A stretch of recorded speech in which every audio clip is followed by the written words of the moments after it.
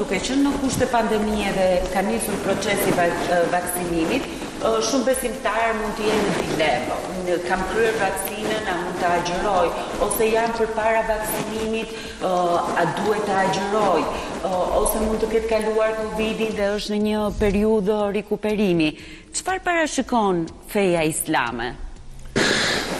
Për sa i përket pjesës së vaksinës është nga pyetjet që bëhet më së shumti këto ditë, sepse për fat të mirë në vendin tonë ka filluar fushata e vaksinimit dhe një pjesë e mirë e besimtarëve, të paktën pjesa e moshës së thyer, janë duke i bërë vaksin... moshës së tretë janë duke i bërë vaksinat dhe na pyesin vazhdimisht. Ne u kemi, u jemi përgjigjur dhe këtë mund ta theksoj edhe këtu që të jetë një informacion të për të gjithë besimtarët, për të gjithë ata të cilët na po na ndjekin.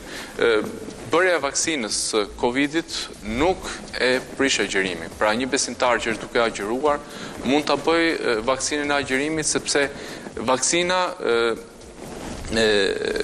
nënkupton një një diçka që nuk është ushqyese për trupin. Pra nuk mund të jetë si një serum apo një diçka tjetër që e ushqen apo e mirëmban etj etj trupin, por që është diçka që bëhet për mbrojtjen dhe nuk ka veti ushqyese për trupin. Për këtë arsye shihet dhe klasifikohet si diçka që nuk e prish agjërimin. Me rëndësi Eda edhe Lauren për të dhënë informacion që kam përshtypjen sidomos me fillimin e muajit të Ramazanit dhe me fillimin e agjërimit një pjesë e mirë besimtarëve kanë nevojë ta dëgjojnë pikërisht këtë informacion.